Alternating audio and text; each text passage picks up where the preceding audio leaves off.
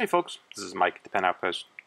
For this video we're going to be working with another ink in the Noodler's Eel series. They're lubricated inks. This one is Gruene Cactus, which is green, basically.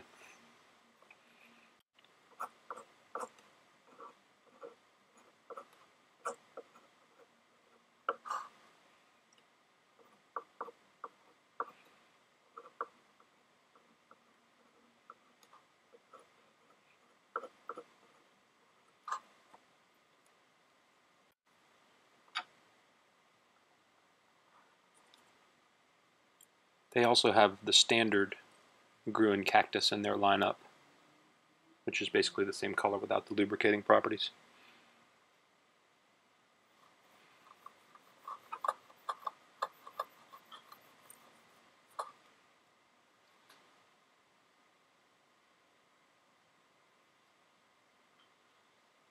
give that a minute to dry.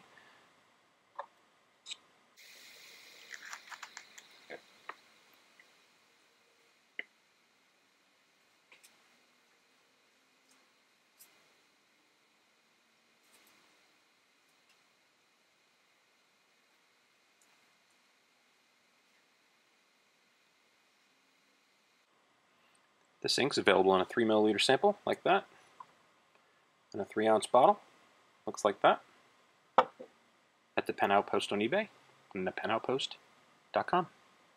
Thanks for watching.